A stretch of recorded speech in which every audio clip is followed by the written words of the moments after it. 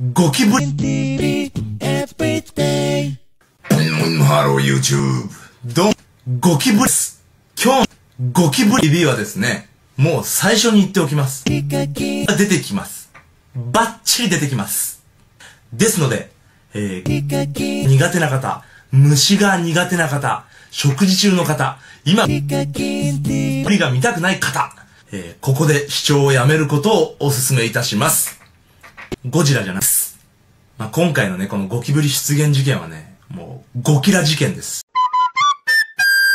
はい、このようにですね、ラドン、スペースゴジラ、えーキングギドラ、えーモスラ、メカゴジラと、えーどれが何体出るか、85分の、えー何体出るかちょっと、えー調べてみようと思います。ゴジラあ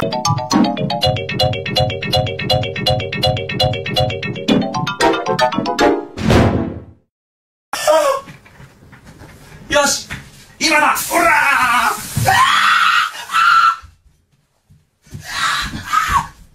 どこだ？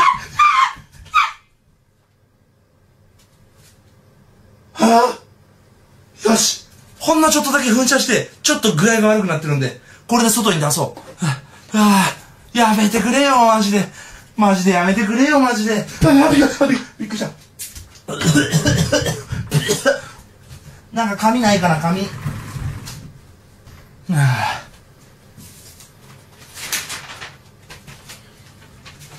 あよし。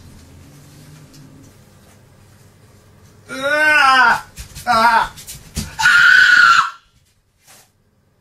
動きやがった。うわ、マジでやめてよ。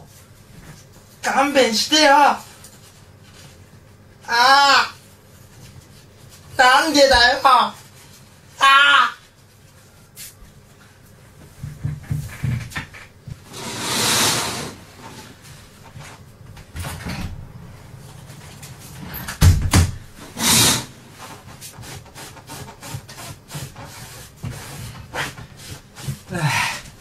ママ。感じで。